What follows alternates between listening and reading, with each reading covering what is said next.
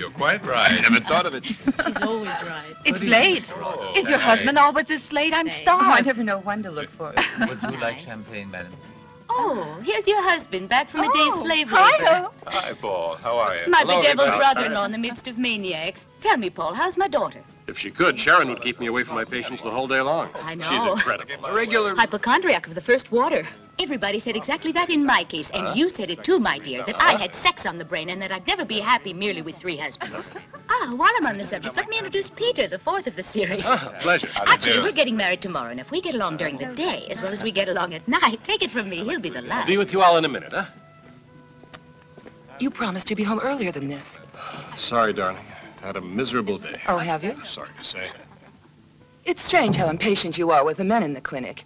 Yet with all the beautiful girls that you treat, you seem to have the patience of Job. For me, all patients are sexless. Emanuelle's just an unusual case.